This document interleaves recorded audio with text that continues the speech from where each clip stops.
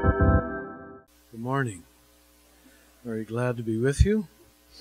I promised Greg I would not talk about relics and indulgences.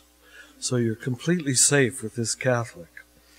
I'm going to talk instead on a verse from Mark's Gospel, one that I've used for many years because in three short verses it says an awful lot that's, I think, awfully important. Says in verse 12, the spirits drove Jesus into the wilderness, into the wild place. Not the domestic place, the wild place. And he was in that wilderness for 40 days, the classic period of transformation and growth.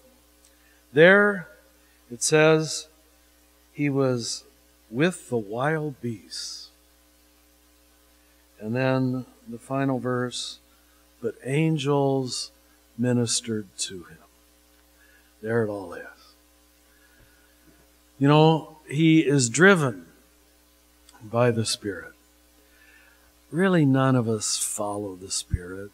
We're driven by the Spirit. There, God creates within us a restlessness, a dissatisfaction, a longing, an irritation, uh, an emptiness. Those are all created by God to keep you moving to some place new and some place necessary. And then he gets to this wild place, the wilderness.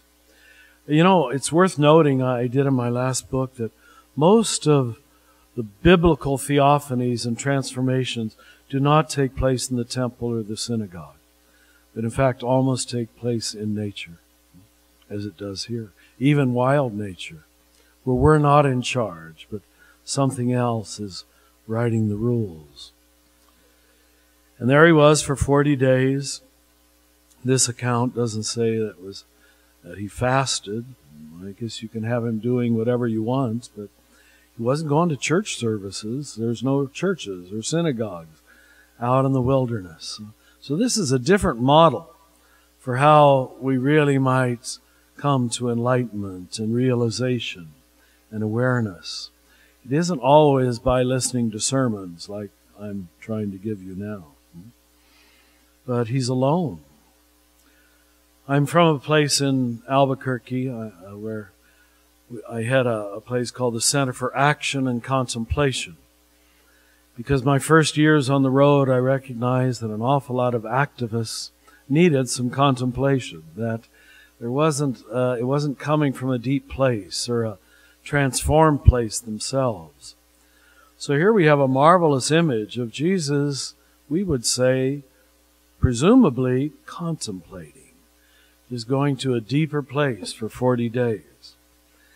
But the first thing he meets in that wilderness is not wonderfulness or pretty hymns like we just sang, but in fact, he meets wild beasts. Hmm?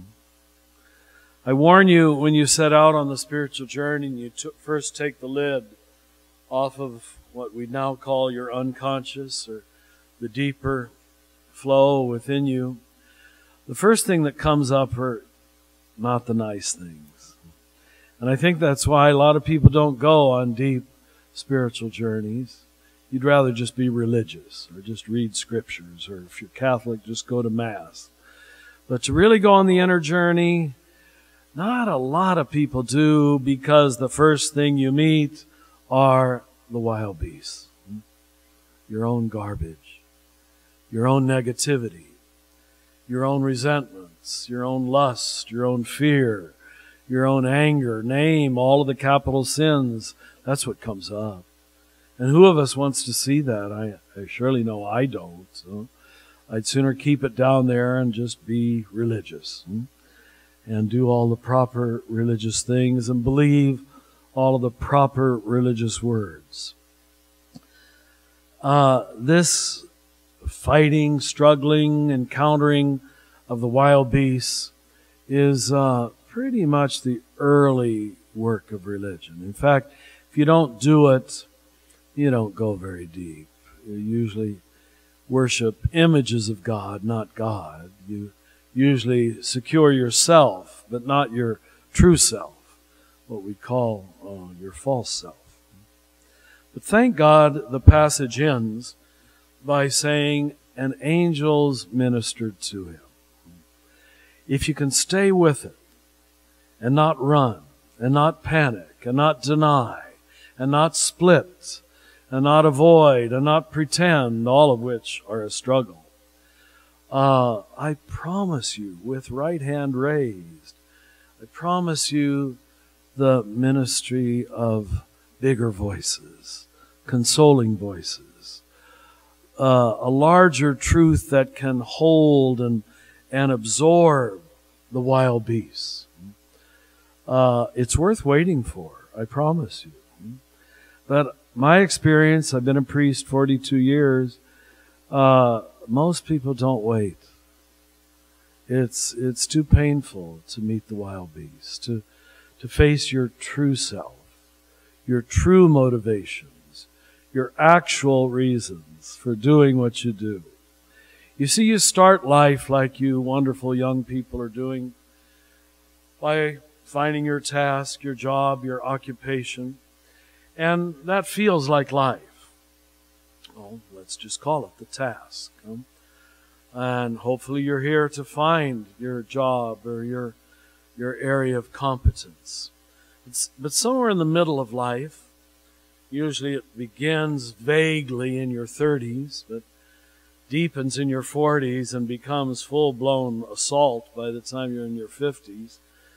Uh, you start facing what I call the task within the task. And that's what you're really doing what you're really doing when you're doing what you're doing. And you can be doing the best thing in the world, but filled with resentment and judgment and anger. And that's the energy you're really putting out, even if you're a preacher or, or a teacher or something wonderful. Hmm? The task within the task is who you really are. But it takes a long time to recognize uh, that because it hides itself. Huh? It disguises itself. Uh, when you reconcile the task within the task, what you're really doing when you're doing what you're doing, uh, with your task. Hmm? Like I'm still a priest. I hope I'm doing it a little bit better than I did when I was young, with a little purer motivation, a little more consciousness of my my true self, my true needs and desires, then you reach what we would call integrity, where you can hear the voices of the angels, as it were, the better voices, the better angels of our nature, as Abraham Lincoln called them. And it's only then that we get to, uh, I don't want to go beyond my time, uh, that we, that, that we get to verses 14 and 15 of Mark's Gospel. Then he goes to Galilee and has the courage and the depth and the integrity to proclaim the kingdom of God. And you know what he says? It's not something later, it's something now.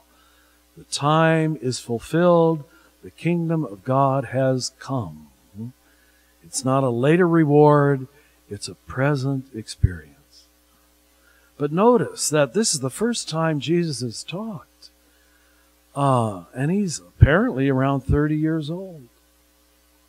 All I can conclude is the first 30 years, he's listening, he's learning. He has what we call beginner's mind to recognize that I don't know, that my job is to be a student. My job is to listen and learn, and maybe I'll have put it together well enough. Uh, I'm afraid I started preaching at 27, which was too early, I'm sure. Uh, but uh, it takes at least about that long to know your task, but to know even with greater importance, what am I really doing when I'm doing what I'm doing? And that gives your word and your task and your job and your occupation and your sermon or, or whatever it is you're doing, a kind of integrity, a kind of depth, a kind of naturalness, a kind of freedom, a kind of faith that uh, really makes the Word much more penetrating and much more real. I hope my few moments of trying to break open the Word allows you now to have a little more courage to do that in your own life.